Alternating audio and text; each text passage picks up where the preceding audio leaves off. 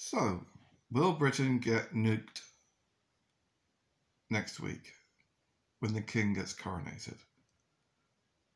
I mean, America has been importing, I don't know, 10, 20, 30 million enemy soldiers, well, enemies of America, onto this island for the past 30 years. They've already got their um, get out of jail free card ready and willing to go. Irish people have been using earthquake machines to do fracking all around um, nuclear power stations. So if they were to get blown up, America can just put out a story that that's what happened. That's why the whole place got nuked.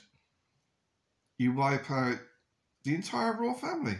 Oh, no, wait. Meghan won't be there. She'd be safe in America.